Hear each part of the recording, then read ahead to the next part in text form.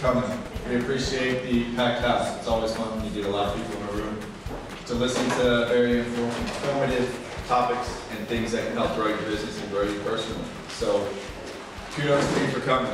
Um, real quick, I am part of the professional development work group for the chamber here in town, and, and these are things that we are trying to put on monthly, different topics, different uh, businesses, different individuals that have different experiences to help grow you guys, are our members. So we appreciate you coming. If you have thoughts, ideas, know somebody that can give one of these and, and do a great job, and reach out to somebody, let us know. We want to, like I said, we want to expand this. And it's the whole, whole reason why Pearson Kelly's here today is we're in our group talking through who can give a speech on something that's not everyday things, that's not the, the same old, same old that you can go read a book about. You know, they're, they're, we need real life experiences, we need real life people to, to come give in information. So personally, my company does business with Chelsey and them. And so the way that we've had our interactions and done business with them, I thought was extremely beneficial. So me learning through them, through business has brought this Ed Talk to the table. Um, so I'm gonna introduce Kyle, he's the gentleman here in Joplin for Pearson Kelly, and then he'll, he'll do the rest, so thank you.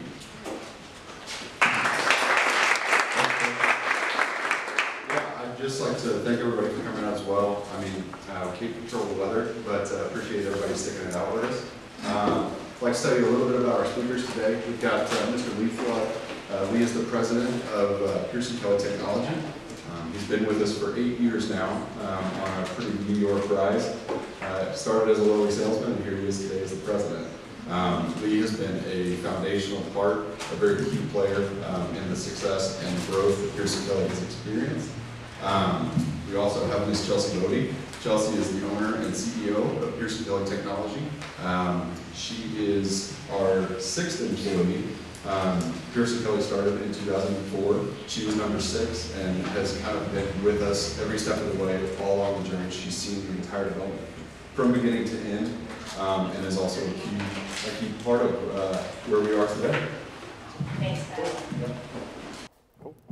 So thank you. We didn't really practice like the walk-in or anything. That feels a little awkward now that we're doing it, but that's all right. So Missing good. the music for sure.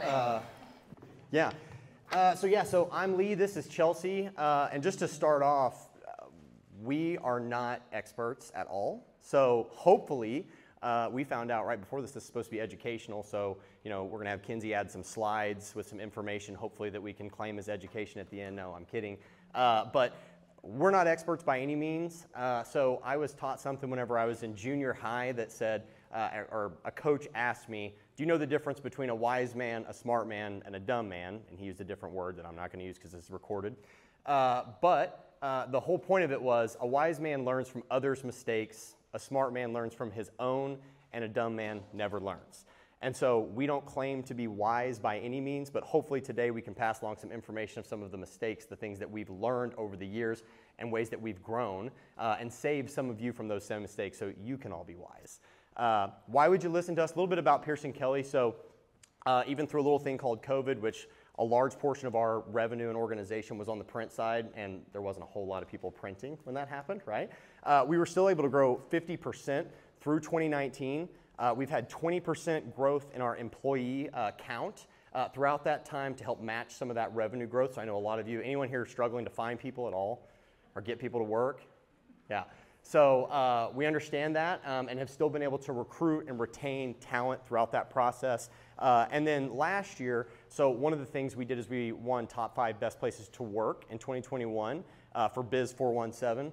And that wasn't Chelsey and Lee writing in about how awesome we were. Uh, they actually send out a survey, and 75% of that survey, uh, or the, the score that for us to get elected for that comes from compensation, benefits, and culture. And so they send that directly to our employees and they fill it out and it's anonymous and we don't know what they say. Uh, so hopefully some of the things we've implemented since we took over EOS is helping us affect and, and get to that point. For you today, what to expect? Uh, we broke this down to three different things. So we talked about EOS, um, but the first thing is just what is an operating system? Uh, and I know we've got an IT guy in here, but we're not talking about that kind and, and some others as well. So we're just talking about something for your organization. So we want to define that so we're all talking about the same thing. We also want to talk about why, really Chelsey, but Pearson Kelly as a whole has picked EOS, which is Entrepreneurial Operating System. That was a mouthful. Uh, so why did we pick that? And then we're going to spend the majority of our time on how we have found success using it to build a winning culture. I'm being told to scoot down. Sorry. So, good. So, what is an operating system? Uh, okay, to get us all on the same page, it's just the way we are all trying to organize all the human energy in our organization, right? So we all have lots of people working for us, or maybe even just a few, and it's how we go about organizing them to accomplish the goals that we want. So that's how we're going to define an operating system. A lot of people are using their own self-grown methods. We were for a long time, and Chelsey kind of talk a tad on that uh, today. We picked something that helped us define it and build structure for that, how we meet, how we dial in the groups, how we define our departments, all those items to help us say this set kind of a, a goalpost or you know a, a, an out of bounds line for where we needed to be, and so we could follow that. Who in this room would say that your company is using or following some form of operating system out of curiosity? Who has more of like a homegrown method? Cool. So for us, we really fell in love with EOS, or sometimes it's referred to Traction. Has anyone heard of Traction or EOS? Cool. Um, I hadn't at first, and in fact, uh, we'll get to the Traction book here in a second, um, but really starting with one of their other family of books, uh, Get a Grip, is how I fell in love with this. And really, you have to understand who you are as a culture, what you want it to be. Um, we felt like we needed an actual uh, systematic approach to culture because it's also how we're going to operate. What are our processes? How are they defined, simplified, followed by all, and documented? And then also, an operating system offers the ability for you to really understand what your differentiator is. How do you attract? Why would somebody want to come work for us and not another technology company? Why would someone want to partner with us in business and not another technology company? And it gives clarity to not only us, but then also to the people that we're recruiting and people that work for us and people that um, may choose not to be the right fit. Uh, so it just provides that clarity, and we felt like we needed it when we were about 30, 32 employees, just to put it in perspective. So the books. So traction is um, really what we refer to instead of having that mouthful EOS, but you'll hear that acronym a lot. And that is more of a tactical approach to this methodology. Um, Get a Grip is, well, one, I don't read. I'm addicted to Audible, so you can find these on Audible if you're like me. But Get a Grip was also something that spoke more of my love language because it's really a fiction story of a company going through the realization that they needed an operating system. You're a fly on the wall watching them live it through. So it's a story. And then once you go through that book, um, Traction can sometimes take a lap as book number two because then it puts all the boring analytics and how it actually works and the details there. The stuff I'm interested in. Yes. And then what the heck is EOS? Um, this is directed more towards non leadership roles.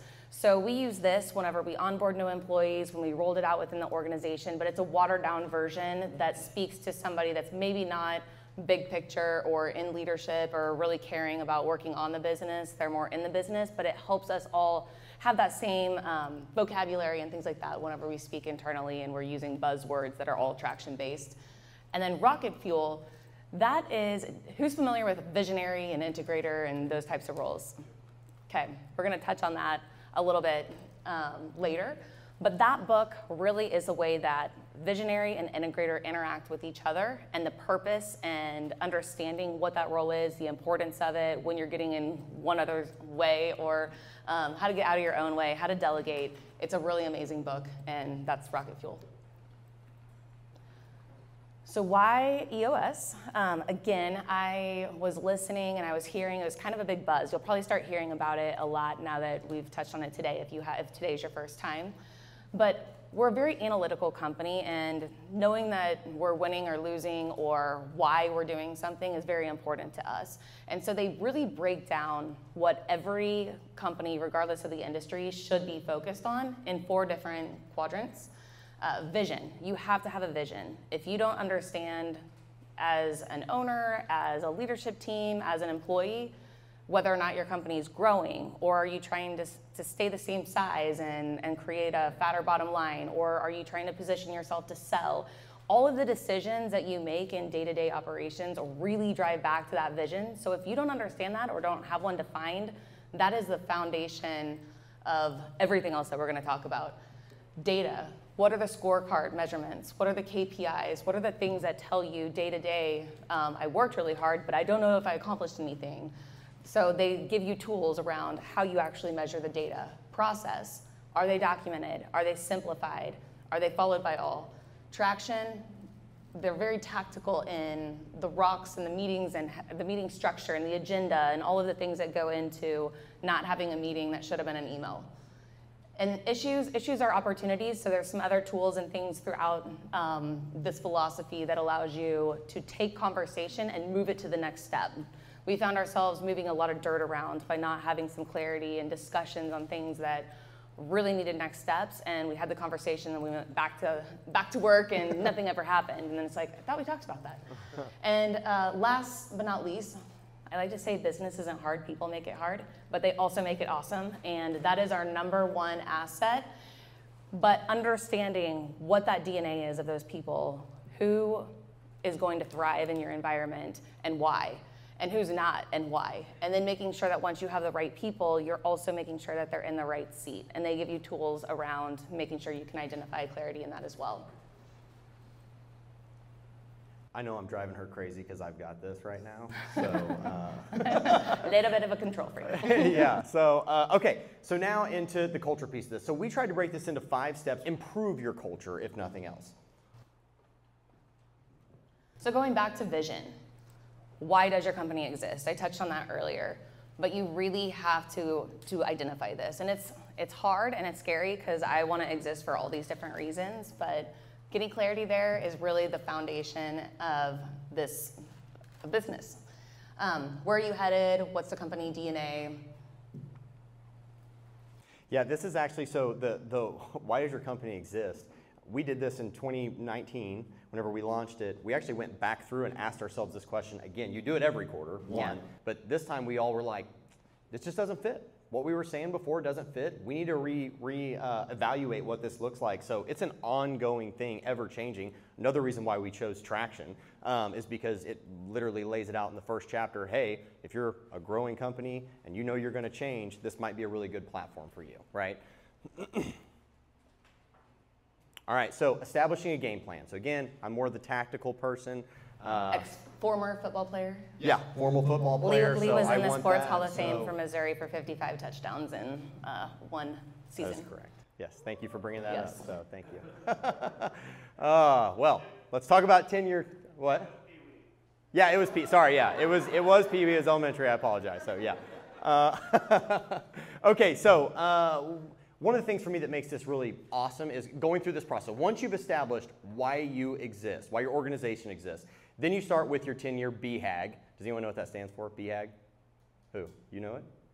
It's your goals, big hairy, audacious goals. Not okay. I haven't heard it say that. Thank you. That's good. I will be using that from now on out. But we call it audacious goals. Uh, so since I'm being recorded, I'll, I'll choose that one this time. But that's awesome. Yeah, that's exactly right. So there's not really any rhyme or reason to this. So if today you own a coffee shop and you sell 100 cups of coffee every year, in 10 years, if you just killed it and you achieved something just unbelievable, what would that look like? Well, it may be we're going to sell a million cups of coffee in 10 years, right? And for that year um, whatever that number is. So we define that. No analytical backing, just we're going to chase something that seems scary. It needs to be scary, right?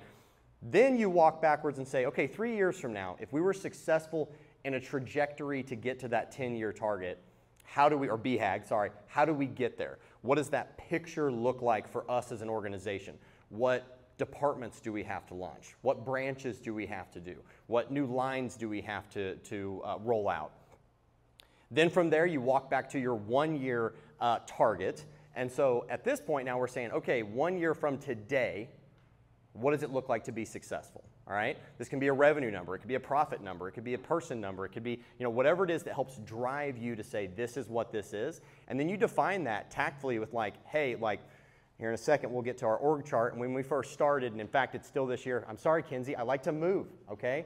So, uh, okay, so uh, I was sitting in multiple seats. And so, it, one of the targets for this year for us is get Lee in one seat. Let Lee focus on one thing, not multiple things. So, walking through practically, it's building out a Joplin branch further, it's uh, adding another uh, branch uh, in other places. So, all those things are things we're saying we're going to accomplish this this year. Here's what it's going to do for us to hit our goals and our things. So, we walk backwards into that. Then you take it into the quarterly rocks, and it's a little more than just quarterly rocks. But again, this gives it teeth and traction on a quarter by quarter basis, right? So you say, what am I going to accomplish over the next 90 days? And most of us have heard of this. The reason why it's called rocks is basically for a year, you've got four containers. Each container is 90 days worth of stuff, right, that you can accomplish. And the goal would be we would start with the most important things. What are those things, those things you know you have to get done? Then you'll sprinkle in what would be like, if you put it in a jar, the pebbles, the things that, like those day to day things that we all have to do. that are just a part of our job. They're not those biggest driving forces, but they're just a part of it. Then you're going to add that sand. And I'm sure everyone's seen this at some point or another, maybe in their life. If not, then you add the sand afterwards. And that's all the things that we end up doing that Chelsey puts it. You end your day and you're like, well, that was exhausting, and I don't think I accomplished anything. That's probably sand, right? So it's like, it's all these things so then you take that next 90 days, you accomplished all these things. You started your whole 90 days again. If you were to put that sand in and then the pebbles, you'll find that your rocks don't fit. So uh, 90 days earlier, you were actually able to accomplish a lot more things because you started with these most important pieces. And so we as a company actually launched this company wide and have everyone establish rocks, but we start with our leadership team to say, what is it that we need to chase over the next 90 days? And then through that, we handle it off into what we're going to talk about in a second, which is the quarterly conversations. Core values. So these are, well, I love to say DNA. What are the what are the core values that make up the people that are going to help carry these goals out? And how do you define those? And so we were probably guilty at one point in our history of doing the same thing, but it makes me cringe when I think of organizations that have their core values trustworthy and honest, and they're painted on a wall or a plaque, and it's like somebody told them that you had to do this to get your business license, and nobody knows what they mean, and they're just the cringe. So we went through an exercise with a consultant whenever we started this to establish real core values. We threw the old stuff that for the business license Burn in the them. trash, burned it. and, um, and so it really helped us. And so we're going to go through a little ex- exercise as a team, but it really helped us identify a true living concept of what a core value should be. So you have a little note pad in front of you and a pen. And what I want you all to do, Lee's going to show kind of an example. Leave a little space. Yeah, you want to have a little space in there. I'm sure, I don't know if everyone can see that, but she'll explain in a second. So when you start with the names, you'll have it. Don't write them yet. Just, just know you'll want about that much space in between each name that she's gonna tell you in a second. So I want you to think if you were to take over the world in business, name three people that you would hire. One has to be working within your organization at minimum. Um, and the other two, preferably, thank you.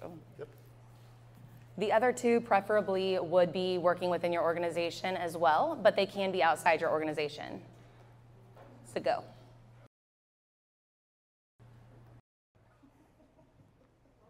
Mm-hmm.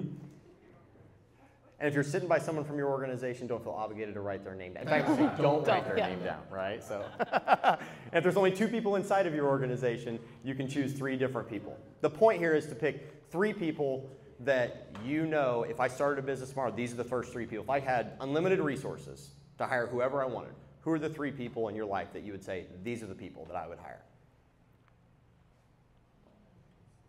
And your name can't be one of them.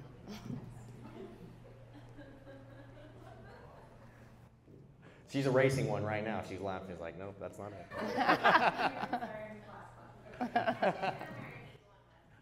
Great choice. Yeah. Okay, now you're gonna follow that up with why. What attributes or characteristics made you select that person? And the reason for the space is that way you can write, you know, ideally two or three per person. What are two or three things that make that person so awesome in your eyes?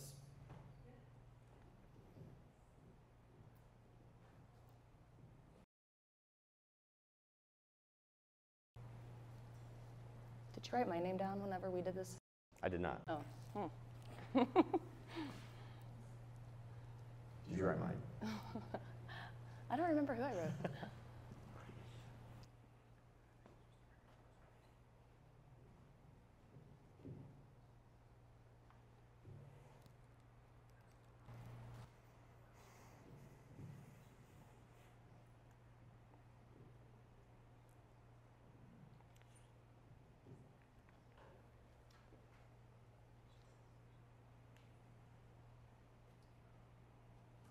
And I promise we're not going to say, okay, now burn it. We don't care. Uh, there's a there's a point. Yeah.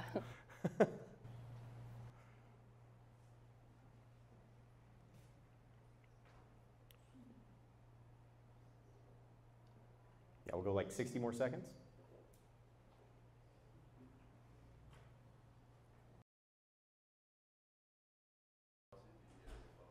Yes.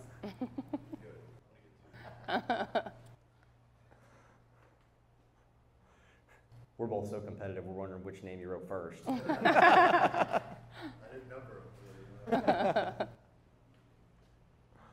All right, so at this point, what we did as a leadership team is um, our consultant didn't care about the names. What they cared about are the were the characteristics and attributes that we had all s- selected.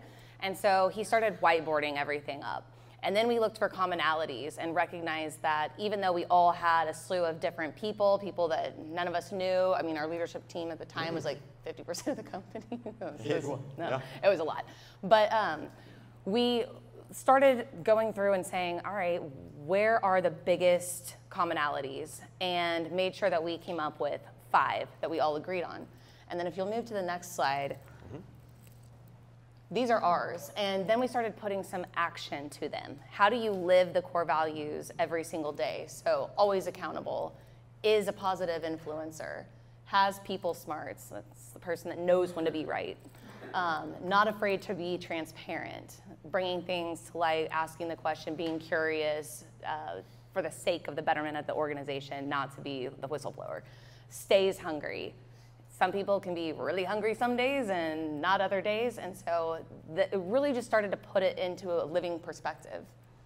Yeah, and so the, the practical piece of this would be like if anyone's ever been a part of like building core values, if you just start from scratch, it is tough. Like go Google good characteristics and Yeah. it's exhausting, right? You pull that up and you're like, how am I gonna pick out of these?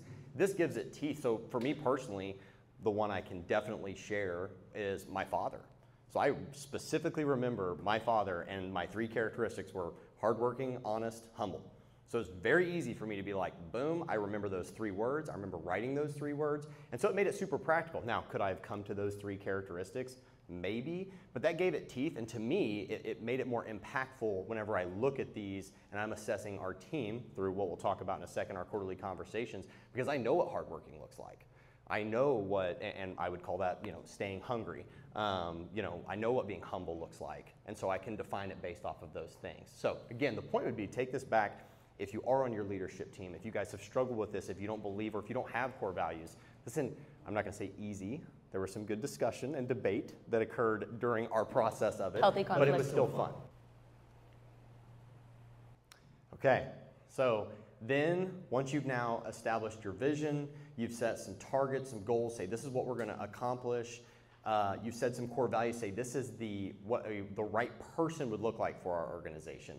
Now it's time to fire everyone and start from scratch. So this is way harder than it seems, uh, especially for Chelsey and I. We're both very relational, uh, but you literally sit back and say, if I started my organization from scratch today and I had to support $10 million worth of this with this many clients, what does it look like? And how often have I put someone in a seat because they're just really good at it? And when I say seat, I mean a, a role or a place, right? Or how many people are sitting in three to five and carrying the weight for others, which we've also found in several spots. So once you've built out that structure with no names attached to it, Then you start assigning your names to it. And this was a gut wrenching, tough, tough process whenever we walked through it three years ago. So, yes, uh, very humbling because I was the guilty party of making job descriptions around a person's skill set. And it became very clear at that point in time that if they got hit by a bus, there was no way humanly possible that we could post that position because it didn't exist. I was just like, you're good at this, this, this. I mean, it, yeah. So it's it's humbling. And then you, we also we had uh, 12 people on the leadership team Yeah. at this point. So if you were a department head or um, a manager, you sat in this group, and you'll see in a second, there weren't that many spots for leadership. So it's Yeah. it's humbling, but it works. Yeah. So this is it. So this is actually our PKT leadership team, and she and I are the only people that were at the organization at that time. Um, and really, the only role that we had was defined probably was my seat, which was the, the director of sales seat. Everything else was Chelsey, Chelsey, Chelsey, Chelsey, Chelsey, uh, which is not super scalable. Okay, so uh, it was kind of a, a, one of those things that whenever we recognized it, and to go back to her story, this is just FYI kind of funny information, but Chelsey came into my office as she does often uh, because she audibles books, and I don't learn uh, audibly. So I have to read it, I want to touch it, I want to feel it, I want to make notes in it, right? So she retains the nuggets she wants, and she's good, and she's super excited and says, I figured it out. I am an integrator, and my dad, who was uh, a partner in the business, uh, was the uh, visionary. And she's like, that's why we kind of go back and forth and some of these things. So we sit down for day one and kind of establish. He says, hey, first thing for EOS, you have to have a visionary and an integrator. And then we need to break it down departmentally. What are your what are your departments? And EOS suggests that either it's really just these four. Every organization pretty much runs the exact same way. Sometimes sales and marketing is combined. So that's how they break it apart and say this is where you start with. Uh, so we're sitting across from each other, and he's defined what a visionary is and what an integrator is. And again, I'm a director of sales. I've been a director of sales for two years um, and was a sales rep prior to that for uh, four years. Um, so no reason to be saying this, but everyone gets up, and I say, uh, I'm going to kind of rock the boat when all 12 of these other people who have been here longer than me and are, uh, you know, probably more skilled than I am, and most of them smarter than I am, and everything else, right? I'm like, but you aren't an integrator, I don't think. Like, I think you can do it, but you hate all the things it drives to be an integrator. Those are not what drive you or what excites you. Um, I think you're a visionary. And she was like, I'm having that exact same epiphany right now. Uh, so I left that, that meeting and called my wife and was like, I don't really know what my job is anymore, to be honest with you. I think I just accepted a different position that's not really defined, so, and I'm probably not qualified for. So, uh, but that is really actually how this went about and happened. And we immediately then started saying, okay, how do we get ourselves, because it was me and her, and we were in all these seats except for one. Uh, how do we go and recruit people to get into these seats? How do we go find the right people to help lead these departments? Um, so, So, and they call it the accountability chart within Traction. And so, one of the cool things is it's your org chart essentially, but the way that they map it out, they don't put titles. Titles are ego. Okay, so we still use them, president, CEO, but they, um, but they're really it's the function. So it's the function with the five roles, the five main roles that that position is responsible for, and it provides a lot of clarity too. Whenever you, you know, job descriptions are great. We still have them. That's the more detailed version, but really when you're thinking of what is a seat and when you're mapping it out, it's what is a function and what are the five primary roles that this function should be responsible for 80% of the time. And that provided some additional clarity. so this is what quarterly coaching sessions kind of look like for, for EOS. Um, so again, kind of the, the tactical piece of this. So if you're like me, you, you like seeing it and be able to understand it, but it's very simple. Um, I would sit down and, or Chelsey would sit down with Lee and say, okay, is Lee most of the time, that's a plus, some of the time, that's a plus minus, or most of the time, not this core value. And we have a bar that just says you're either three pluses and two plus minuses or higher, or you go into a 30 day improvement plan. Um, Standard. Exactly. And, and the goal here isn't to say you're wrote up and we want to get rid of you. It's to say, hey, how can we help you get right in these things? Um, and that way we can do it. You also can move on to that based off of the bottom here, the get it, want it, or capacity to do it. Were you gonna add something? Yeah, I was gonna say, and sometimes somebody is below the bar because we as an organization have created that. So it really helps that dialogue. And the purpose of this is not to necessarily say if you're below the bar, it's because you're a, a bad employee.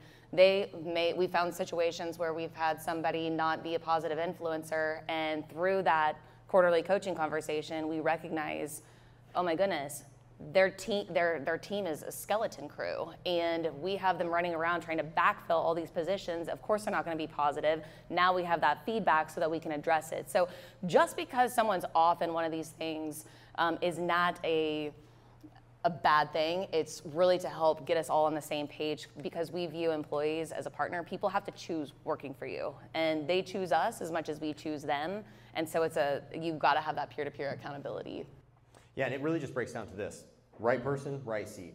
If you're the right person, great. Is there a seat available for you to work in this organization or not? Right? So if there's not, unfortunately, we probably need to help you find somewhere to work that does have that spot. You're still a killer person. We'd love if we ever open up XYZ position to hire you back. Right seat, we put you in the wrong spot. We got to get you moved, right, to, to the right spot to it. touch on gets it wants it capacity Oh, I'm sorry, yes. Uh, so gets it, wants it, and capacity to do it. It's just yes or no. So do you get your job? Do you understand all the ins and outs of it? And so in these, the um, leader will fill it out, and then obviously the employee as well. So it also shows where we don't connect on some things, uh, which is fairly often. Whenever I'll say, "Hey, you're a plus or minus and always accountable," and they'll say I'm a plus or minus and stays hungry, and so it's like, okay, well, what did you mean? But we really meant the same things. We were just assessing it a little different. They felt like they were failing one one place or the other. This is if you're a no in any of this, we gotta we gotta get onto it immediately. There can be no no's. Um, it has to be. We got to define this. We need to set a rock. Um, I actually have rocks this quarter uh, based off of this, based off of these meetings with my leaders, um, where they basically told me something, said, I don't know, um, I don't know that I get my job. I don't know that I understand this. I thought I was in charge of this, but I'm not. I'm like, great, well, I'll start a rock. Let's sit down, let's talk about it, and let's define this to where it makes sense for both of us. Um, and if it's not what you want, then great, let's find out how we can get you either somewhere where you want to be or in a position inside the organization where you want to be. So basically, when you walk out of this room today, the five main takeaways that we want to reinforce are pick an operating system. There's a ton of philosophies out there. It doesn't have to be EOS or traction. I mean, I kind of feel like they owe us a paycheck for talking how great they are today, but uh, we don't work for EOS. But, um, but there are several out there, great game of business. Uh, do your research, find out what's right for your organization, but pick one. And then make sure that you have that vision defined again, it's the foundation. You've got to get that vision because everything else is a byproduct of starting with the vision. Defining your core values what's that DNA? Who do you need to add to the team to carry out the vision? Who do you need to remove from the team that's not going to get you to your go- goals? And then that structure first. Do they align with the values? And people second. Sorry, structure first is where you're not actually. Um, picking people and creating job descriptions out of them. Structure first, people second, and then use it and live it. Those quarterly conversations hold that supervisor or manager accountable to having these conversations. Um, the, the scorecard, everybody has a number. Every employee has at least one number to where they can leave at the end of the day and say, I accomplished something, or I need to ask for help, or I'm confused have a number. Yeah, and so, I mean, good example is Kins. What's one of our core values? Brock. He's hiding back there. So, teach them, work them, right? Kyle, what's our 10 year BHAG? 100 mil, right? So that's where we're headed. That's what we're doing. That's what we're striving for. Okay. And I only planted two of those, so the third one didn't know. so, okay, uh, giveaway. So, uh, if you have not given your email address, I'm looking at my marketing coordinator, making sure that I'm saying all the things correctly. Then you'll want to get with Lindsay, and she'll take your email address. One of the things you can do is uh, actually get some of this information. Can you yep. White this a little bit you for bet. a second here? Okay. Good. So it won't look just like this as a printed out copy, but it'll get you a couple of the tools that we use just to kind of initiate. And again, you don't have to do EOS to necessarily do these. The first one is the organizational checkup. It's kind of the first step into EOS. And again, it's if you're the owner of the organization, you may fill this out on your own at first, but Chelsey brought it to our entire 12 person leadership team and we all filled it out and then we all gave our answers and it basically does a little algorithm where it tells you what's your score in all six of those categories she talked about um, so it kind of tells you where are you the weakest uh, so that way you can kind of focus on those areas and again it shows you what tools there are to do that. So if it's people then you probably need to define some core values. You probably need to get some right people and right seats defined. And so it kind of helps you just know what would be my next steps to, to help me get better at that. It's also great to reinforce um, as you go along and work on some of these things. So not only do you now have a priority list in check, but then have your team continue to take it. do again it's like another like mini assessment and it basically breaks down those five dysfunctions of a team. He breaks it down to say hey like the foundation is trust. You can't have conflict. If you don't trust someone you'll hold back um, because you're afraid of how they're going to react to those situations. So uh, it's another great tool something we've used internally something again that's helped. And again that's something you can use departmentally to help others define maybe where they feel like. We've had areas where we were mad about the results, which is the, the top piece of it. Well, they didn't trust each other. So we're like, great, we're probably not going to have the results that we want because we can't even talk about our issues uh, openly. So hopefully you guys find those helpful. Again, if you get your email address to Lindsay, then she'll be able to get that. Uh, oh, and you can scan this QR code. So Da- and download, yes. If you scan yes. that, it'll have all of them in a digital format to where you can download those, as well as uh, we were able to negotiate with Traction, and you all can get a free book of Traction. If you fill out your information there, they'll ship it to you. That's correct. Yep. And then we opened this up, so I know that we're like five minutes before time, uh, but we wanted to give everyone an opportunity to ask questions if you have any questions, um, so we can be here. Before uh, before we do that, really quick, because he walked in because I love the dude. So, Austin, can you wave your hand? So, if everyone could just say thanks to Austin, he let us host it here. This he owns Zinc Coffee, so thank you, Austin. We appreciate it. He's a Joplin, well, he's a web guy. I don't know if I can call him a Joplin guy. That may, I don't know, may fight after this if I say that. So, Also my cousin, so he had to.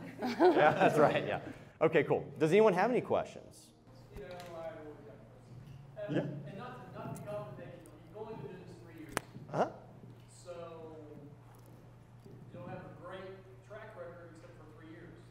Now granted, that three years is also piled on top of that with COVID, with a new presidency, with an economic overturn, with a war going on, there's all sorts of things that could be mitigating factors in your success. How proven do you think that your methods are that will actually, you know, hold for the next 10, 20 years? Great question. I can say uh, extremely. So one of the reasons we didn't talk about this, but recruitment alone, um, you and I were talking about this a little bit earlier, uh, but it's very simple for me to recruit somebody now. Hey, we're going to 100 million. Here's our five core values. Are you driven for that? Does that excite you? Like, do you want to be a part of something like that? And there's lots of people who say no. It's like, cool. This would be a huge disaster for you then. You are extremely talented, and if we change those things, I will keep you in mind. If Chelsey decides to say, hey, we're super profitable, um, and we don't care about growing at all, and she wants to just keep the money, great. Uh, then our, our 10-year BHAG would look a whole lot different, right? Uh, and so, so would our core values more than likely on that piece of it. But from those things, it's just helped us be able to manage and lead people in a much better way. And I, I don't know who still does like we used to do at the end of every year. Our assessments looked a whole lot different, and it was like 40 questions.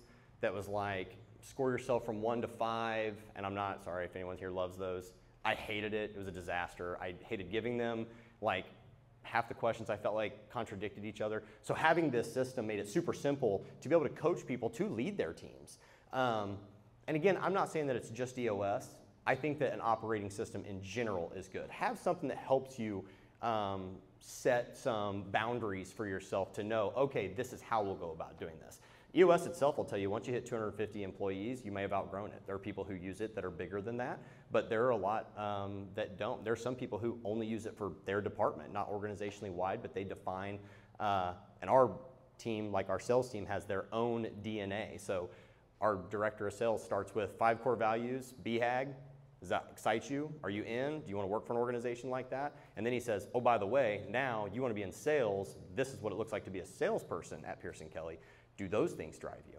and I don't know those, so I can't give any examples of them. But I do know that that's a conversation he has every every time he brings someone on or discusses them, and and uh, make sure that those are driving forces and things that characteristics that they could get excited by. And some feedback that I would provide, um, we turned over, so statistically, if you start this, they say that you'll turn over 20 to 25% of your staff. And I was like, there's no way. And we did. And not all at once, but, um, but we did in hindsight. I mean, it was the right thing. We needed to shift things up. We needed to have the opportunity to really have clarity. Uh, I would also say this is not uh, you do it overnight. When the consultant started working with our team, he said this is an 18 to two, ye- 18 month to two year process.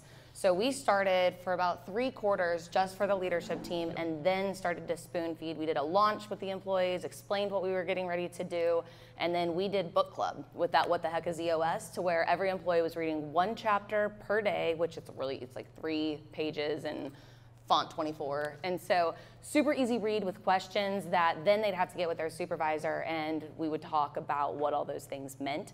And I, I said one day, we did that over the course of 12, there's 12 chapters, 12 weeks. And so spoon feeding and digesting, um, it takes more time for people that it, it turns out to where it's like two years. And we didn't even have everyone in L10s up until probably a year or two ago, which is what they call Yeah. their meetings. Yeah, and now they can literally add a what they'll call an issue, which can just be an idea. It sounds negative, but it's not. It can be just an idea, and literally everyone in our organization can do it, and they can send it to leadership. So when we sit down to software, when we sit down, you never know what's been added or what someone's upset about or what idea somebody has, and they can track us to respond. So all those things have been super impactful. And the tools, it helps us, like before, I feel like there was a lot of moving around dirt and trying to have conversation about things like this person's toxic. Well, I don't know. They work really hard on my team. And, well, did you hear what she said the other day? Or she continues to find herself in everybody's drama. Now it's like, hold please.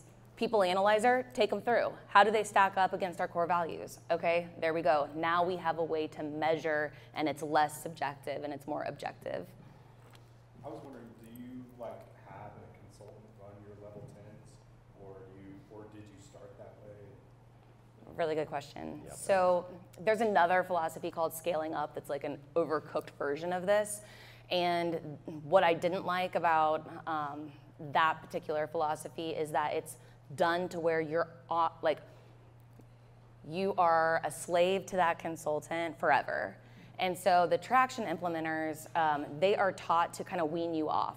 So in the beginning, we did use them facilitating, teaching us how to do it, and then he would come in, I think, once a quarter after that, and to the point we, we weaned him off after like 18 months, I think. He, I couldn't imagine us like saying you're not on leadership anymore. so if you're doing this by yourself and you said, hey, by the way, we had 12 people in leadership, now we have three, four, uh, whenever we were done.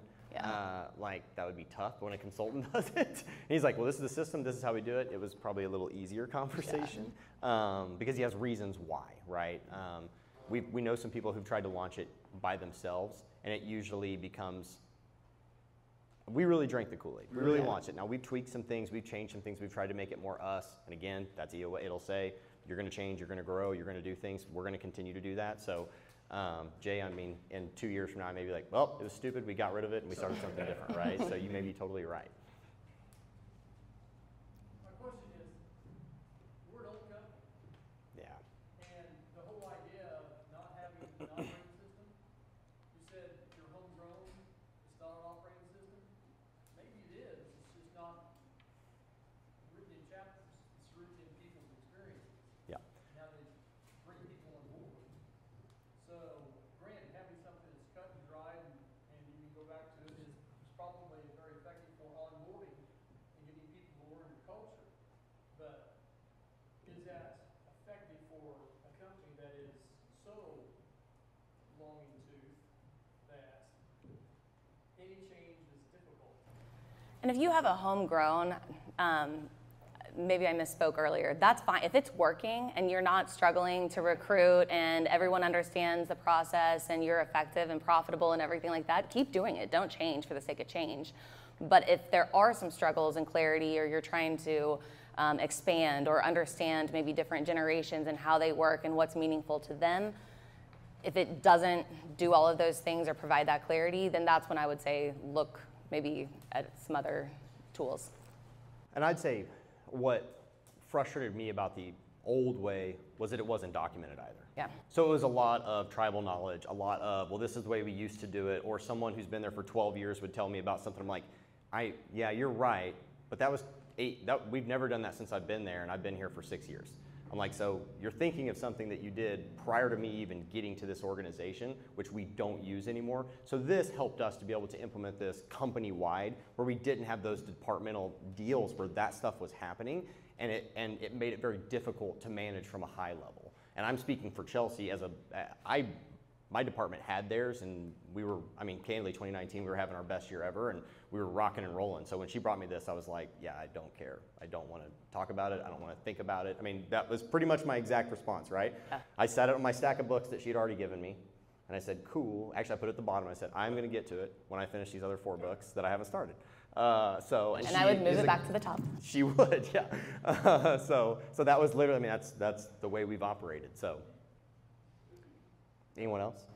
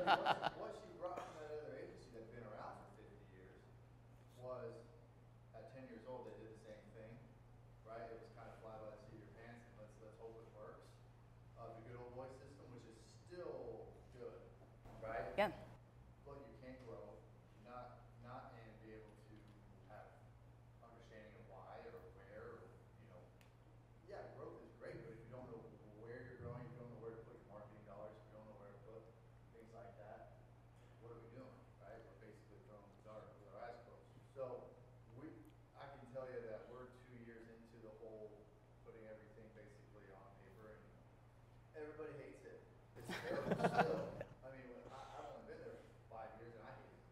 can't imagine people that have been ten years. Well, I can tell you that everybody started since we have started that process, thanks the leadership team. So if I'm Chelsey, so some of you have multiple owners in an organization, which it was her and her dad, which her dad, again, has been, he was our first ever core value MVP um, because he's super humble and said, it's Chelsey's vision. So that was also part of it. Like, if I'm Chelsey, what's really scary is if it's Lee's vision, she can fire me tomorrow or I can leave tomorrow. She's bound to this organization, right? So she can sell it, she can do whatever she wants to, it's hers. But all of us are here and excited about her vision. And that is scalable.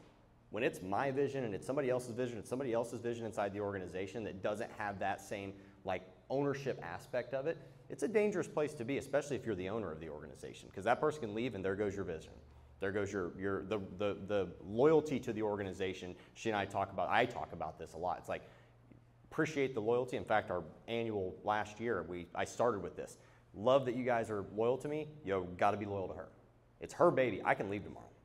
I can I can bounce. I can get out of here. She can fire. She can come in tomorrow and say I hate EOS and I don't need an integrator, and she can get rid of me. I would appreciate if you didn't do that. Uh, you know, but she could, and it's like so. That's part of what again I like that relationship and that piece of it is because it does define it. It also can be humble for some of the leaders that want to take that and be like, well, it's mine. It's like, it's not.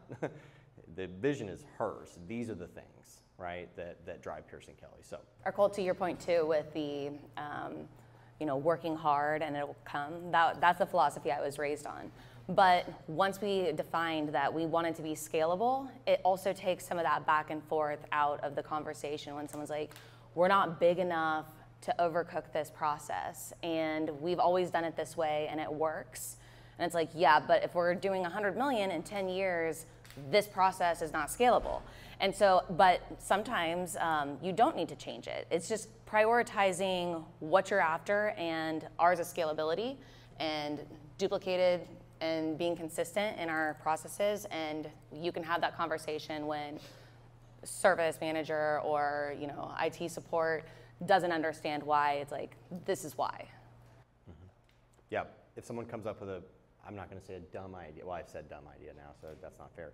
But a, a not scalable idea, we now just say 100 bill, because 100 mil isn't big enough. So we're just like 100 bill, and then they know that doesn't work. That's not scalable. Like you're building a custom thing. That's not going to get us to where we're going to go. And again, if your organization does that, that doesn't mean it's bad. Like you just probably have to define a different 10-year target. That's awesome, right? Ours just looks different. Any other questions? I did want to make a comment that I wasn't trying to be negative. No.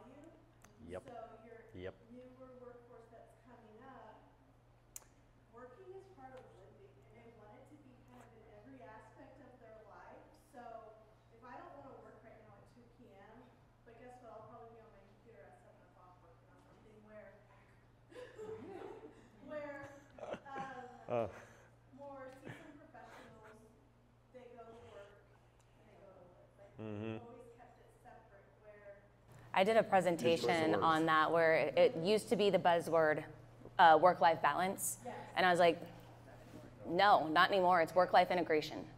And it's get the job done, but on your terms and how you work best. And as long as you can show up and be accountable to the workload that we need you to provide, like we'll work with different So, true story. Uh, whenever I was, and I, I'm so sorry. So, but when I took this position, so this is like the epitome of what it would look like. So, when I took sales manager, my boss, who was my mentor for forever, right? Um, he and Chelsey were on the phone all the time at night. Like, she loves working at night. I do not. I get up at 4 a.m. and work. So she gets three. I am asleep. Yes. uh, so so that's that's that's the way I, I work. But I told her, I'm like, I got a wife and I got three kids, and my nights are for them. And so before you give me this position, because he had made that recommendation, like you need to understand, like I'm not going to change that.